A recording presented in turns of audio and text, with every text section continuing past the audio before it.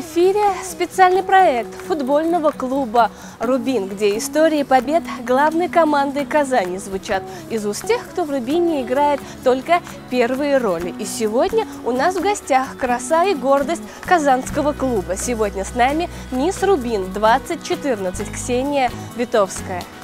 Так, ну, честно говоря, блины меня немного смущают. Так. Ксения Витовская, мисс Рубин, 2014, болеет за казанский клуб с 2008 года.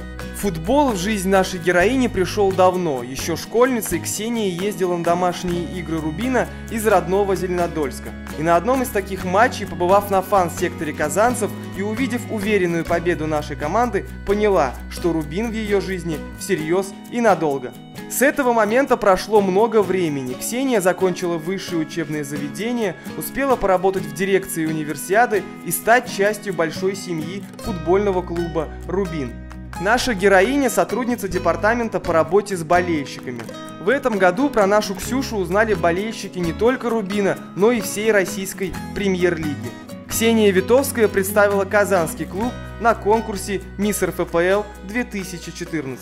Героиня программы выбрала какое блюдо? Курник, Курник. да. А почему именно курник и, и, и, и что это означает? Я вот первый раз слышу, честно. На самом деле, это блюдо впервые я попробовала у бабушки в Уральских горах, скажем Ага. так. И сейчас лето, а каждое лето я ездила из Татарстана туда, в Оренбургские степи. И у меня такое воспоминание, что мне хочется вернуться туда, когда был отдых, жара. Это, в прекрасная общем, бабушкино блюдо. Да, это, это, это даже Ну, славится как блюдо. бабушкино Да, блюдо. Да, баб- А все бабушки готовят очень вкусно. У Да. всех.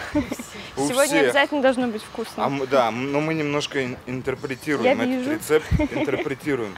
Для начала а, мы раскатаем один пласт, и ты, ты этим будешь заниматься. Хорошо. Вот, потому что у меня, не, не- у меня немножко проблемы с, с раскаткой вообще теста, ну серьезно. Можем ее слайс нарезать, можем ее нарезать кубиком или соломкой. Мальчишки, вы любите кубик как хотите? Крупно? Мальчишки. Я кубиком. Вот я Кубиком. тоже. Вот, все хотят кубиком. Давайте Все кубиком. кубиком. Ладно, хорошо. Бабушка бы сейчас меня ругала, как я раскатала. Неровно. Главное, раскатал. Мы это сейчас, что с этим будем делать? Натянем? Нет? Мы натянем. Будем натягивать по самые, а, по самые края. Ну вот так, смотри, сделаем. Вот так сделаем. Вот так сделаем. Да? Как приятно, когда мужчина Да, готовит. конечно. Да. Ой, ой, как, Вот как, как аккуратно. интересно. Делаем вот такую, вот делаем вот такую тему.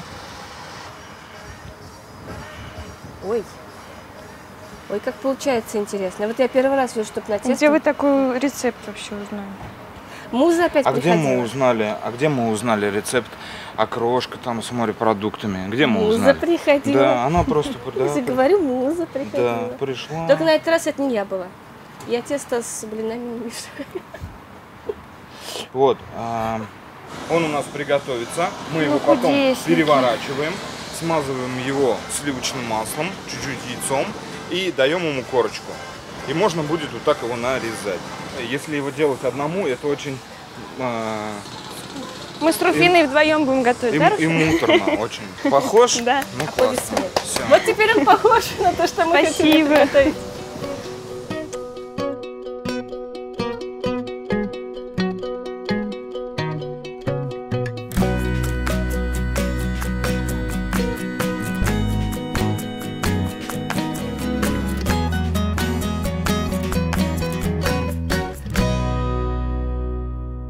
Пока готовится наша оренбургская лазанья, мы посидим, поговорим, да, чуть-чуть, если ты не против. Ксюша, я тебе, наверное, уже задавала этот вопрос, но я помню, что когда мы с тобой сделали первый сюжет, многие болельщики не поняли немножко, откуда ты, как, ты, как э, Рубин пришел в твою жизнь. Вот если не сложно, Ой, это очень давно было. Очень-очень давно было. Я еще была школьницей. Я сама из Зеленодольска, уже, наверное, многие об этом знают. А у нас город очень футбольный. Очень футбольный. То есть э, все, ну не все, но, по крайней мере, когда я была маленькая, футбол занимал жизнь практически каждого мужчины в нашем городе. Они все болели. И у нас даже стоит сейчас стадион имени Виктора Колотова, и стоит ему памятник. поэтому мальчишки всегда гоняли футбол, и я бегала вместе с ними, и поэтому футбол это была неотъемлемая часть моей жизни в детстве тогда еще. Потом э, стало так, когда я пришла в школу, у нас даже девочки болели за футбол. Ну, за Были болельщицы? Да, были болельщицы. И но как не болеть за свою родную команду, и потом уже, когда я стала взрослее, была возможность выезжать в Казань, как раз Рубин начинал набирать обороты, и вот я прям прониклась и начала болеть. И у меня вот одноклассники, и получалось так, что я всегда дружила немножко с ребятами, которые старше меня, они уже болели за Рубин, они меня подтянули и рассказывали мне, в принципе, уже такие нюансы футбола, что и как. Расскажи нам, пожалуйста, а у нас уже курник м, готов. Вот Ой, что у нас какой. получилось. Мы его даже переворачивать, мы его переворачивать даже не стали. стали. Не стали, девочки. Он, его можно потрогать. Он, смотрите, весь хрустящий. Как Сыр расплавился, все расплавилось. Надеюсь, это будет вкусно. Тарелочки. Мы я, наверное, начнем? встану, позвольте. Да, мы, да, вставай. Начинаем мы его резать отсюда. Вот так вот прямо шик. И вот так отрезали. Вот так кусок, вот так кусок, вот так кусок.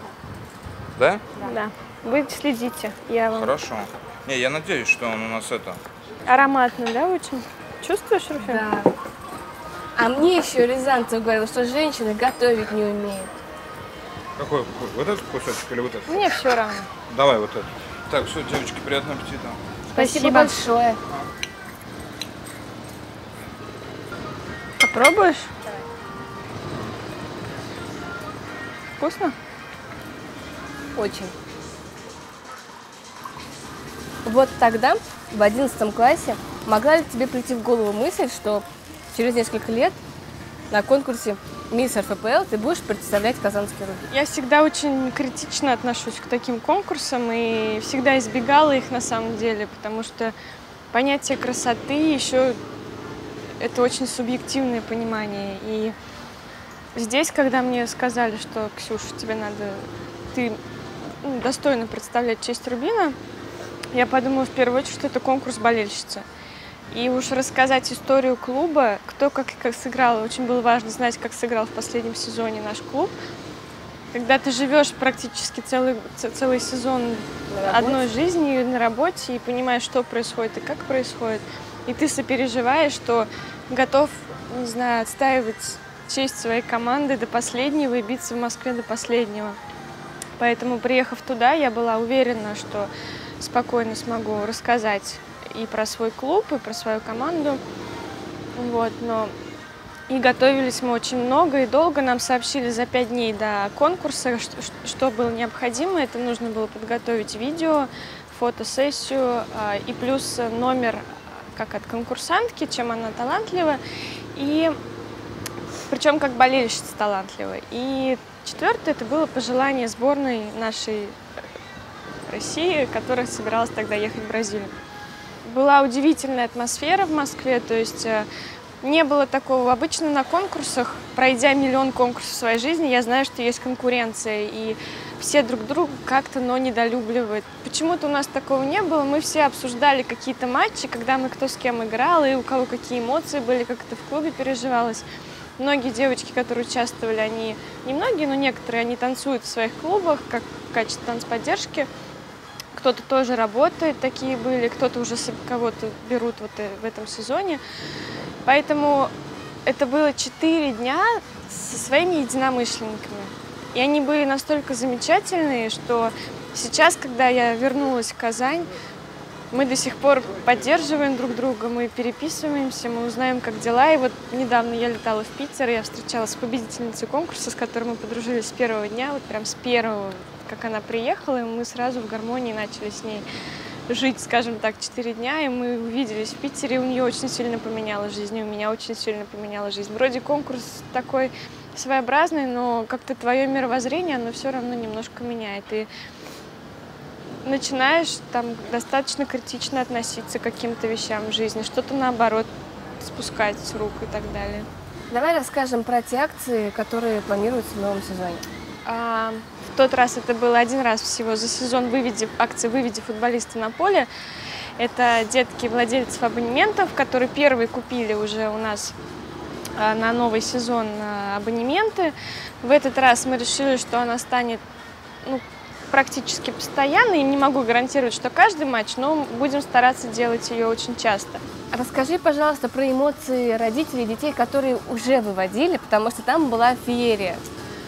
Ой, это что-то невероятное. Но для всех, для нас это было что-то невероятное, потому что мы там все время, весь день провели с этими детьми. Я даже скажу, что я очень часто встречаю, не очень, но достаточно часто встречаю родителей некоторых возле своего дома в каких-то торговых центрах. И дети просто кричат мне, Ксюша, привет! Это такое невероятное ощущение. И они действительно, каждый раз, когда я вижу их на матче, или мы проводим какие-то мероприятия, автограф-сессии, там, фестивали или еще что-то, они всегда летят с такой душой. И родители видят, что дети тянутся, и они, мне кажется, сами болельщики и рады тому, что вот такие вот маленькие детишки уже идут и хотят ходить на футбол.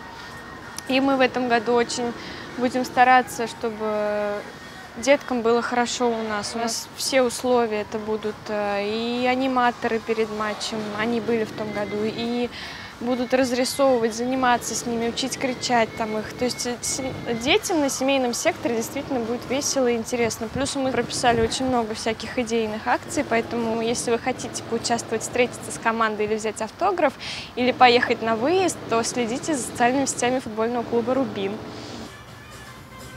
У нас получается, что в Рубине мне очень нравится, что очень много молодых сотрудников, которые горят своим делом. И мы так все на одной волне. Мы сами все там болельщики своего клуба. И мы хотим, чтобы только мы вместе в ногу, скажем так, со своей командой шли. И мы, не, мы представляем сторону клуба, но в то же время мы представляем болельщиков. Поэтому все акции, которые мы придумываем, мы стараемся, чтобы максимально понравиться и порадовать наших болельщиков. А, скажи, пожалуйста, не, не могу не спросить, есть ли у тебя любимый игрок? Понятно. Я Максиму Александровичу Лопухову говорила, что понятно, что мы сотрудники, и мы одинаково относимся ко всем, ко всей команде. Есть ли такой особенный игрок у тебя? Мне очень нравится Марко Дэвич. Да. Для меня очень важно, чтобы футболист, он был человечный.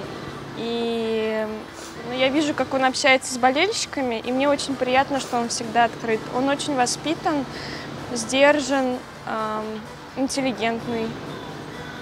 И он мне как игрок импонирует, конечно, и я очень рада, что он пришел в нашу команду. Любимая игра прошлого сезона? «Спартак». Потому что это был подъем, невероятный подъем.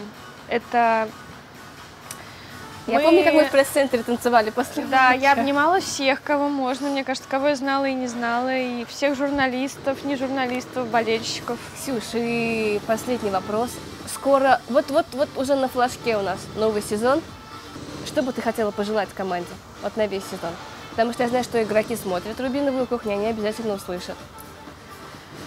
Ну, в связи с тем, что у нас команда очень обновилась, хочу, чтобы они стали действительно командой чтобы они как единое целое двигались вперед и чтобы достигали цели, которые ставит им тренер, чтобы они прислушивались к нему и таким целым шли до конца сезона уверен. Понятно, что будут трудности, понятно, что им придется с ними сталкиваться, но когда вместе, когда они сила, то это преодолевается, а мы будем стараться их поддерживать максимально. Мы с командой. Мы с командой, конечно. И мне и всем нам, всем сотрудникам очень приятно, что в этом году Рубин представляла именно ты. Это было очень достойно, мы все за тебя переживали. Спасибо, что ты у нас такая есть. Спасибо большое.